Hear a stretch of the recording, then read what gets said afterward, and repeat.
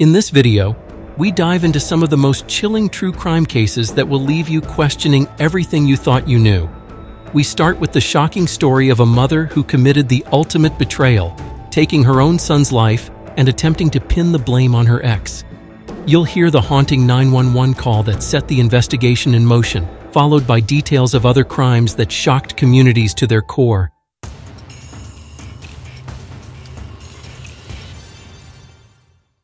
This mother took her son's life and soon after took her own. No, where's emergency? Um, yes, somebody just said my baby. Please get here. They just did what? Said my baby. Do they know who it was, man? Yes, it's my ex, it's my boyfriend, my current boyfriend. What's your address? Um, you know what? Does he need an ambulance, man? You, you know what? You, I did it. I'm lying. I'm lying. I'm lying. I'm lying. I did it. Does he need an ambulance, man? Um, no. I mean, no. He don't need. No. What's your name? Chevonne Thomas. Chevonne Thomas. Chevonne. Chevonne. What's your phone number, Chevonne? You know what? You know, Hello? you know what? Chevonne. You know what? Chevonne. Yes. Right, you said your baby was stabbed. This your, your son? Yes. How old is he? Yes. Chevonne. Yes. How old is he? Yes. Yes. Yes. Chevonne. Yes. How old is your son? My son is two. He is two. I said he was he's the one that was stabbed? Yes. He was stabbed with what? A knife. Is he bleeding? Where's he bleeding? Is he bleeding from anywhere? Know? I mean, he is, but not not much. From where? not much. Uh, where's he bleeding from? Not much. Not much. Where's your boyfriend at? Um, I think I knew it. I knew it. Uh, where's he at? My boyfriend is he's gonna come in the back door. He's gonna come in the back door. Who did it? He, your boyfriend stabbed him? Yep. I knew it. Who else was in the house? No.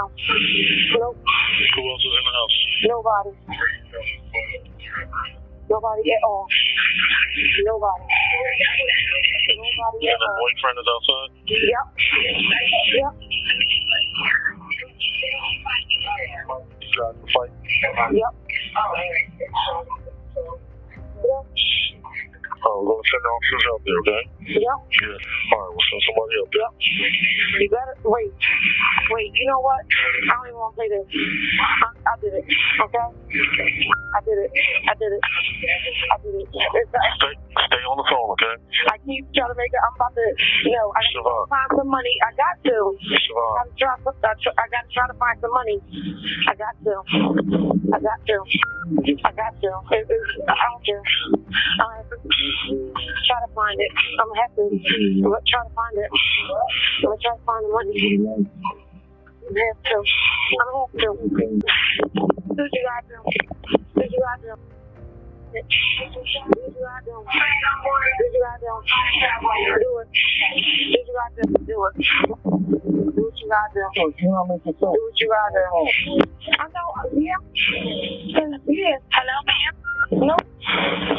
Nope. Hello? Nope. Nope. Hello? Nope. Nope. I knew it. I, Chevonne. What? What's the problem? I knew it. You knew what? I knew it. Knew what? I knew it. What did you know, Chevonne? I know. You need the police? I know. Nope. Nope. Nope. Uh-uh. Uh-uh. Nope. Nope. You need the police? No. Mm-mm. I don't need nothing. I don't need nothing. How old are you, Chevonne? I don't need nothing. I'm 33. You're 33? 33 years old. Where, where do you live at? Um, uh, 58. Where? 1058. 1058 what? Um, 10. 10. 1058 what? Chevonne. It's one. Who lives at Nobody. Not me. Not My you. boyfriend is right here. He's right. You know what? Can I speak to him? They swear, they swear, swear. Did you take medicine? Swear. I used to. What kind did you take? Um, Prozac. Prozac. Oh, okay. You don't take it anymore? Nope. Okay. What's your name? Wait, wait, wait, wait, wait, wait, wait. I do. You still I take it? do. I still take it. Did you take it today? I still take it. Um, I, I still take it. No, I didn't. No, no, I didn't take it today, but I should have. Okay. Should have. Where are you? Should have took it today. She didn't take her Prozac today, she's saying. But She didn't take her whatever, I Prozac did. today. I did. I did. Oh, that's what she did. Keep playing. Who, who keep playing? Keep playing. Okay. Where are you at right now? Hello? I don't hear one. Chevonne, did she hang up? Hang up. I ain't hanging up. I up. Who do you live with? Whatever. Keep thinking that. Keep thinking what, man? Keep thinking that. Who do you live with? Keep thinking it. Who do you live with? Keep thinking it. Are you home by yourself? Yep. Does, does anyone live with you? Uh, keep thinking that. Keep thinking what, man? Keep thinking it. Chevonne Thomas, a 33 year old mother from Camden, New Jersey, was known to her neighbors as someone who had been struggling with her mental health for some time. On the night of August 21, 2012, her mental state deteriorated to the point where it resulted in an act that shocked not only her community, but the entire nation. That evening, Chevonne placed a disturbing call to 911, claiming that her boyfriend had stabbed her two year old son, Zahree Thomas. A few seconds after she admitted she was the one who did it. She initially seemed confused during the call, switching between calmness and panic, as she told the dispatcher about the incident. This confusion reflected her fragile mental state, worsened by drug use.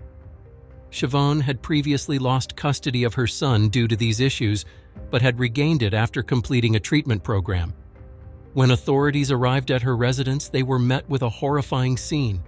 Zahree's body parts were found in the freezer. In her state of distress, Chevonne took her own life with the same knife she used to harm her son. The events leading up to that night had been building for some time.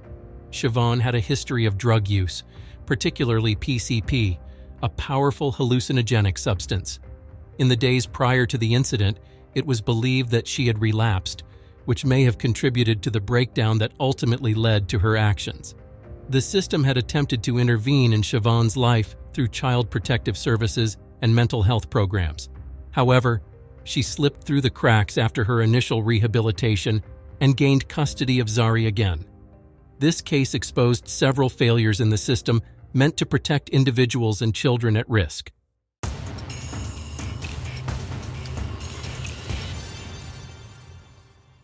A young couple's murder in their home shatters the peace of a quiet Ohio town, unleashing a twisted mystery of violence and potential unfinished justice. Hello, Toledo 911. Ma'am. Mm-hmm. My heart is beating out of my chest. I just got a call from one of my son's friends. Okay. Her phone number, I have it right here. She just picked my husband up too. My son and his girlfriend live out at Long Acre Lane. Mm-hmm. I believe that's Holland. This girl says she was on the phone with my son and his girlfriend, and he was supposed to go pick her up. He was telling her he was going out the door, and all she heard was the phone drop and heard my son saying in the background, Who are you? What do you want? What are you doing here? And she said she just drove by the house, and the house looks ransacked. All the lights are on. My son's not answering, and neither is the girlfriend. Okay, you said it was. Yes, Lane. Okay. Oh my God. Um, I got heart problems and my heart's beating out of my chest right now. all right, I understand. Do you know if, if that's all one word or is it two separate? It's no, it's separate words. Long Acre. Yes, long, O O N G acre, A C R E lane. Oh my God. Is she still there? No, she just came by here to pick up my husband, my son's dad, and I'm here with the other two younger kids. All right, what is your name? My name is Maite Vasquez Clark. Oh my God. I have the girl's phone number that he was talking to that heard all this going on in the background. Okay. She my said. girl, Okay. my girlfriend's, uh, my son's girlfriend's parents are out of town. They left for uh, Puerto Rico two days ago. I don't know how to calm myself down. My heart's beating out of my chest. Okay, what did what did your son tell her? My son was like, hey, Tiff, we're on our way out the door. We're coming to get you. And then all she hears is the phone drop and my son Johnny saying, who are you? What do you want? What are you doing here? Who are you? And no more, no more answers. That's all she hears. And then she says that she starts getting worried because neither of them are answering the phone. And she goes out there by the house and she sees all the lights are on and the cabinets look ransacked. Okay, but you don't have any idea where your son's at? He was there at the house with his girlfriend. That's where they're house sitting for her parents. Okay, but but she doesn't. He wasn't there when she went over there. No. She rang the doorbell and nobody came to the door. Nothing. Oh my God, ma'am, I'm so afraid something happened bad. Oh my God. Okay, Oh. what is your son's name? John S. Clark. Clark is with the E at the end. Is he And white, black, or Hispanic? He's white and uh, Hispanic. He looks more white than anything. How old is he? He's 21. Date of birth is. And the girlfriend is. Okay, is somebody going to meet us over there? Uh, yeah, my husband's on his way there right now. Oh my God, my hands are ice cold. My heart's beating out of my chest. I Do I need to send you medical, ma'am? Please do. Okay. Let me get this call in real quick, then I'll send you medical, okay? But I have these kids. Okay, please make the call. Her, the girlfriend's name is Lisa Straub. Okay, what's your husband's name? John P. Clark. What kind of car is he driving? I don't know what the girl's car is that picked him up. I'll give you the girl's phone number. The girl, Tiffany, Do you know how long it's going to take him to get over there? probably 10 minutes. Oh, my heart. My God, I can't take this. What's what's his girlfriend's name? Lisa Straub. S T R A U B. What's her cell number? Um, this is his girlfriend. This is not the girl that called me from the cell number. The girl that called me is Tiffany. I don't know her last name, and her cell number is. Okay, but we can get a hold of Lisa on that number. No, Lisa's with Johnny. That's what I'm telling you. Lisa and Johnny are boyfriend and girlfriend. They were leaving her mom's house. They were on the phone with this girl named Tiffany. The number I'm going to give you, the cell phone number that I'm going to give you. They were talking to her on the phone when all this commotion went down. I thought the I thought the girlfriend called you saying that she was on. No. No, not the girlfriend. Her friend. The girlfriend's friend called me, and she's the one that just came here now to pick my husband. Oh my God, please! I'm praying that my son is okay. Oh Lord. All right, stay on the line and talk to medical while they're on their way there. Okay, Okay. hang on. Sheriff's office. Listen, ma'am. I am a concerned mother. My son was in Long Acre Lane with his girlfriend house sitting. Lisa Straub lives there because her parents went to Puerto Rico two days ago. I get a phone call about a half an hour ago from his friend Sharita that some girl named Tiffany called her saying that Johnny and Lisa were supposed to pick her up at 11 o'clock. And she was on the phone with Johnny, my son, when he was walking out of his house, his girlfriend's house with his girlfriend to come get her. And supposedly she heard a guy in the background screaming at my son and my son saying, What do you want? Who are you? Get away from us and what have you. Okay, four cop cars were already out at this residence. They're not there and her car is in the driveway. I want to know where my son's at. Okay. I want to know where my son and his girlfriend are at. I want to know if they got abducted by whoever tried to assault them and rob them. And it's pretty funny that this girl named Tiffany, which is there right now by the residence, waits two hours to call somebody and report this. Okay. Well, like I said, we were out there. There was nothing going on there. Okay, where is my son and his girlfriend and her car's in the driveway? Uh, how would I know that, ma'am? I need to report my son missing. Okay. Um, where are you at? I'm coming up to the residence right now. Wh- Which which resident? Uh, Lisa's house, Okay. I need an address. Long Acre Okay. Lane. And what's your name? My name is Maite Vasquez Clark. This is the street, I think, Mama. Long Acre, this is it. Okay, I'm with my cousin right now that's in the military. Okay. What's your phone number? My phone number is. I want this girl's plate number before we go anywhere so I can give it to the sheriff on the phone. And they're back pulling in the driveway? I want this plate number. Ma'am, I'm going to give you this plate number, okay? Mhm. That this girl's car is driving. I'm going to stay calm. I am. Will you stay on the phone with me, ma'am, while I talk to this girl? Don't touch anything. Okay, who are want- you going to talk to? Ask, okay, listen. Here's the plate number. That is the girl's uh, the plate number of the car that this girl is driving that my son was supposed to supposedly pick up. Now these two people right here, that's Johnny's phone. Oh, I don't know. It's my parents probably. Call them back. Okay, is it what kind of vehicle is it? What kind of vehicle is that you're driving?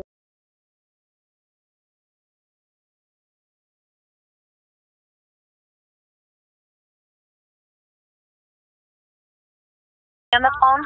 Okay, come here, ma'am. I'm gonna let you talk to her because I have her blocked in uh, Lisa's house driveway. Okay, Okay. here. You tell them what you I will. Hello. Okay, what's what's going on?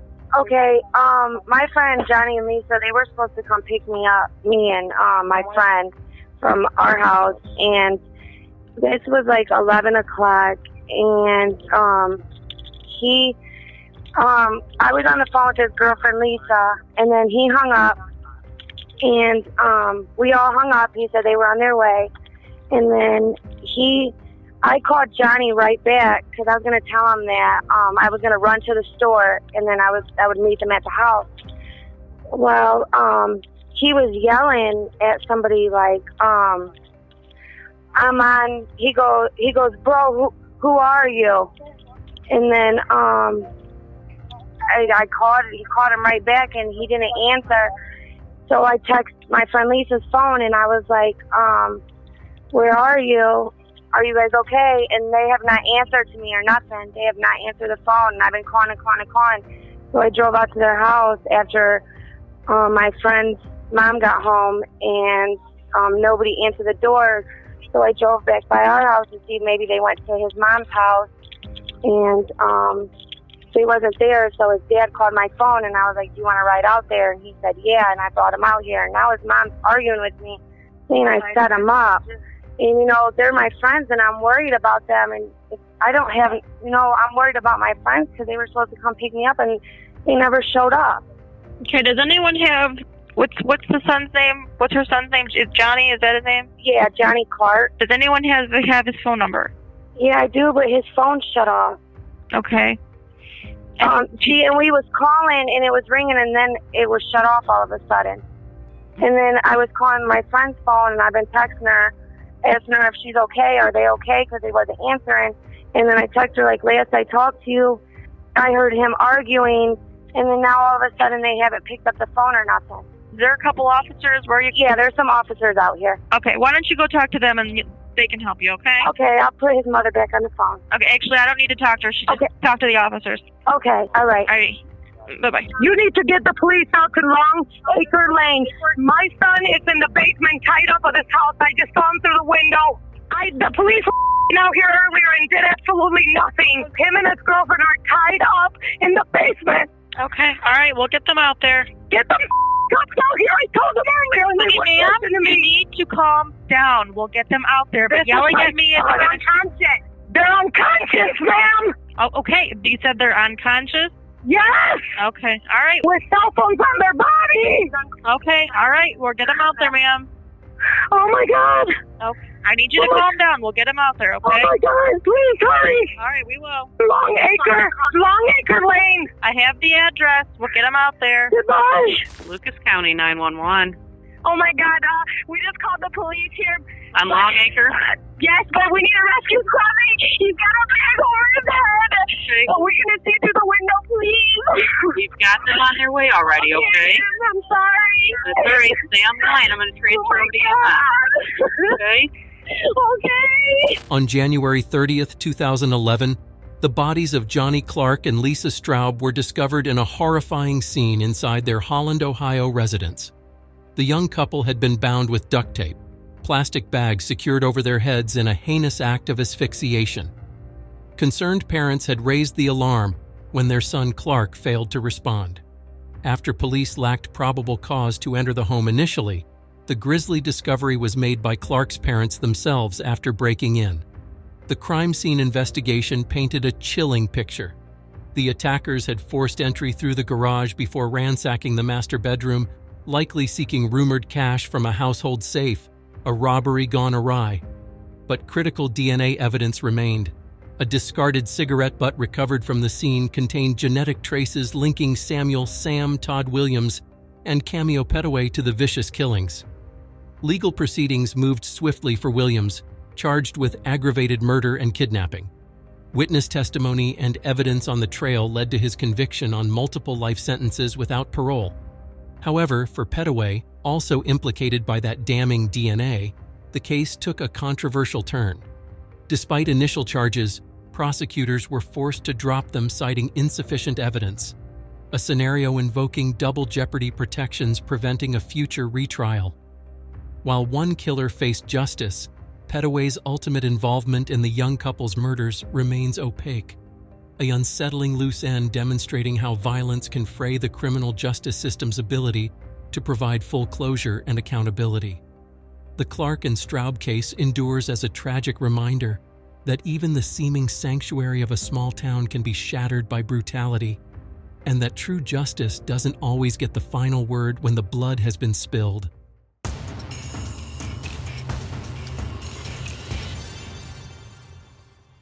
This 27 year old man is charged with the first degree murder of his father and uncle. 911, what's the address of the emergency? Um, I'm sorry, what was the address again, Toddy? Okay, the address is, and there's been um two shootings. Okay, like you just heard somebody discharge a weapon, or has somebody been shot? No, um, there are d- two people dead in the house. Would you like me to um? Hold on. Okay, hold on. So there's two people deceased in this house. Yes. Okay, and do you live there? Um, yes. Okay, do you? Who are these people? Uh, one of them was my father, and the other one was my um uncle. Okay, and does it look like they have been shot or? Um, they were shot. Both have been shot. Okay, what's your name? Okay, what's a phone number that you're calling from? um, I it's I'm a little bit unfamiliar with that. You know, it's a uh, I haven't really memorized it yet. Okay, are you inside the house with them? Um, yes. Okay, so And my you just- grandparents as well. They're uh, they're so did you just come home and find them deceased in the house? Um, I would rather. I'm not sure. I'm very new to this. I'm not really sure how this um process works, but I would rather. Um, I'm not sure if this is a ma- matter of you know a Fifth Amendment kind of thing, but I'd rather do that. I need this information, okay? Okay. Did you just come home and find them deceased? Um, no. Okay, were you there when this happened? Yes. Okay, who shot who? Um, I shot them both. Okay, so you're the one that you shot both of them. Where is the gun? The gun is on the bed uh, beside me, but I could la- leave it there. No, just leave. No, just leave the leave the gun on the bed, okay? Okay. Okay. What kind of gun is it? It is a 762, uh, or no, a 308 uh, Galil. Okay, so it's a seven, three oh eight. Yes, 308 semi-automatic uh, Galil, and uh, also a 10 millimeter, but that's on the counter. Where's your grandparents at? Um, I kept them in the bathroom, or I escorted them into the bathroom. I used a chair and tape to just to keep them there while I, while I got my head sorted out. Okay, so you have put your grandparents in the bathroom. Yes. I had no intention of hurting either of them. I never did. What? I'm sorry. I had no intention of hurting either of them. I never did. This was between me and my, my dad and his brother. Okay, and why did did y'all get in an argument or? Um, we've been, this has been a long back and forth. It's been a long back and forth since I got, got here. It's kind of a long story. I would rather kind of turn myself in and explain it down to the station if that's possible. Okay, and where are you at in the house? Um, I'm in my father's room. Okay, is that where your father and uncle are at? Um, no, I, I panicked. I got nervous, so I clean. I tried to clean up as best as I could.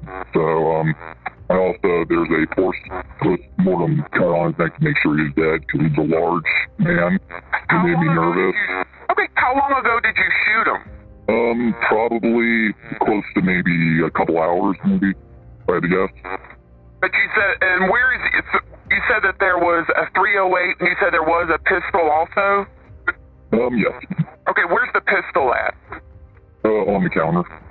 In the living room or in the kitchen? No, it's in the it's in the same room as the rifle. Okay, but right now you're in. Is there any way you can go to the kitchen? Um, I'm sorry, what? You said you're in the back bedroom. Um, yes, I'm in my father's room right now. Okay, where um where is the bedroom in relation to where your father and them are at? Um, he's in the garage with a sheet over him. His brother is in his his room. Okay, and he is in the garage. Yes. And you put a sheet over him. Yes. And your uncle is where? He's in his room. He's in the, in the bedroom. Yes. And are your grandparents okay? Yeah, they're fine. I, I didn't hurt them at all. Have you, have you checked on them lately? Um, yeah, I, I saw him a short time ago. Okay, and did y'all get into an argument or something? No, it's like I said. Um, this is some better to be explained. It's a very long feud be, between me and him. There's a, a lot of death threats back and forth between each other over the years, frankly, and you know, this it kind of blew up tonight. Is there any way that you can go outside the um outside the house? Um, yes. Would you like me to wear something brightly lit or something to? So what do you, what do you? Okay, do not have anything in your hands. I want you to stay on the phone with me. Do not have anything in your hands, and when you go out, go out the front door. I understand. Would you like me to wait in the driveway then? Well, I need you to make sure though your hands are up. If you can put your put the phone like on your shoulder, but make sure the officer can see your hands, please. I understand. Okay, just are you going that way now? Uh, yes, ma'am. Okay, you told me you'd like me to stay on the phone with you. All right, uh, Patty, I'm gonna go wait. I'm gonna go wait for the police to show up and come. Do you see the officer? I mean, kind of scared me a little bit when you said you wanted to shoot me, though. That makes me kind of nervous, Patty. Okay, I'm leaving the, turn the, the gun porch here. light on. Can you Okay. turn the por- turn the porch light on? I'm sorry, what was that? Can you turn the porch light on? Oh, okay. Uh, I'm sorry. I'm trying to let my grandparents out of the bathroom. I had uh, the door. Just leave the just leave your grand just leave your grandparents in there right now. I need you to go and turn on the front porch light and walk out the door, but nothing in your hands. Okay, are you outside yet? Uh, yes, I'm going outside right now. Okay, you're walking out the door. Is the light on?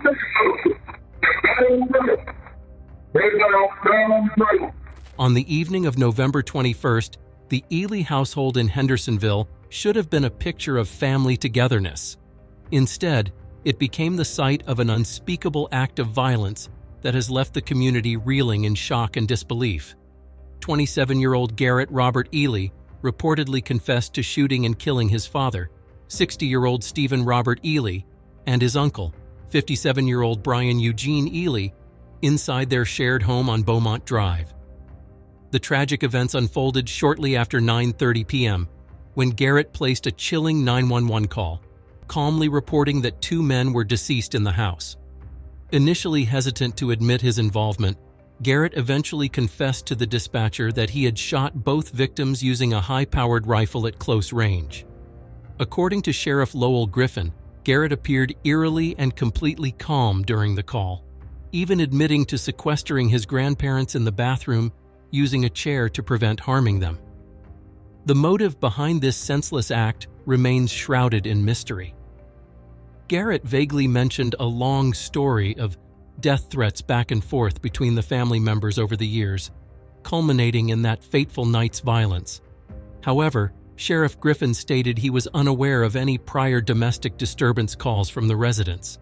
As investigators worked to piece together the grim timeline, harrowing details emerged. Garrett revealed to the dispatcher that he had shot his father in the garage, covering his body with a sheet, while his uncle lay deceased in his bedroom.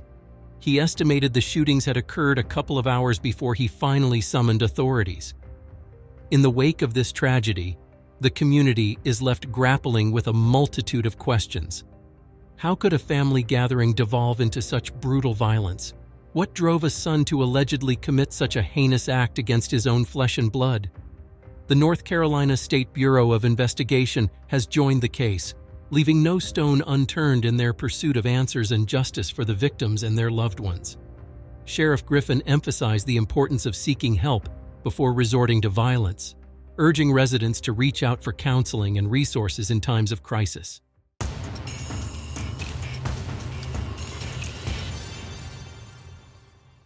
A devastating event at a local deli leads to the loss of a community pillar. 911, where is your emergency? Yes, someone just got stabbed in the neck at the. Do you know who did it or no? No! I got gushing blood. No! I'm calling 911 right now.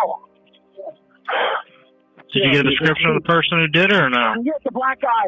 He's covered his neck. He's stabbed in the neck bad, man. I need an ambulance. No, I already got him dispatched out. I'm saying, did you see the person that did it? Yes or no? Just stay with me, Joe. Me. Sir, Stay with me. What? I'm holding his neck, dude. Jerry, you with me? Jerry, you with me? sir, Jerry, you with me? can you get, can, can anyone get a clean towel cloth to apply pressure where he's bleeding from? I'm on All right. his neck. Is the person who stabbed him there? Yes or no? No, he's gone. He ran. Did you get a description of him or no? Uh, yeah, he's a black guy, wearing a black coat, riding an orange bicycle. He's stabbed in the Okay. neck. Here, take my phone, call 911. You talk to 911. Come here. My phone, take my neck. Sir, there are helps on the way out there, okay? Just apply pressure, okay? Just keep applying pressure. They're on 911 on there. Hello, hello. Hello. Hello. Tell him to keep applying pressure. Keep applying pressure. Keep applying pressure. Okay. Is he in a house or are you outside of a house? Say again? Are you inside or outside? We're outside on the corner of Heather and Cuthbert, across Yep, from the that's it. Shamrock Deli. Come on. Okay. Just tell him to keep applying pressure, okay? If it becomes soaked in blood, add more to what's already there. What is your name, sir? Do you know the person or no? No, I don't. I, we just pulled over. Oh my God! Okay. All right, is he, is he blinking? Black guy wearing a driving an orange bicycle wearing a hoodie. He's shorter than you. Uh, I hear them there. Are they there? Yeah, yeah, they're pulling up now. Hurry up!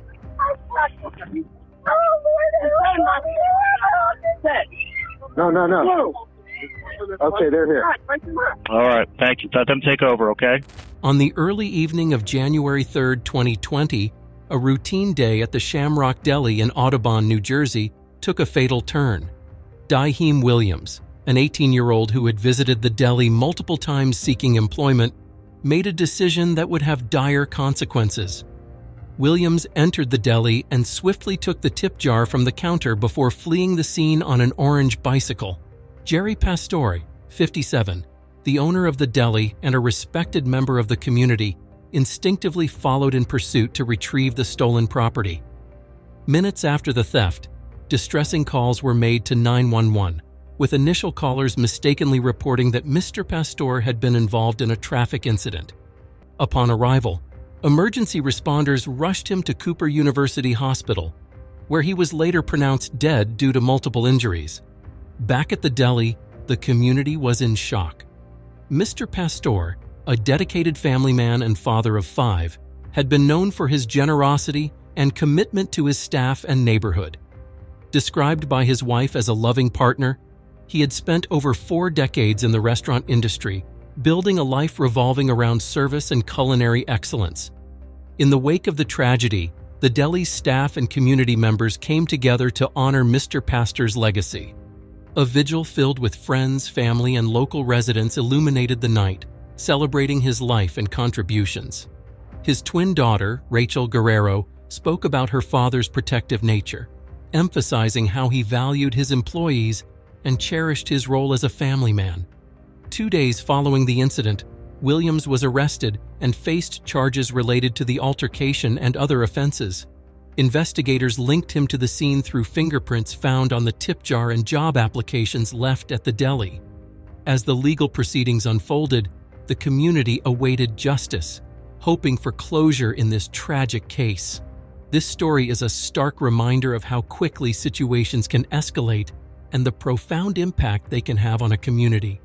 As this case continues to unfold, it serves as a moment of reflection on the values of compassion and understanding in times of crisis.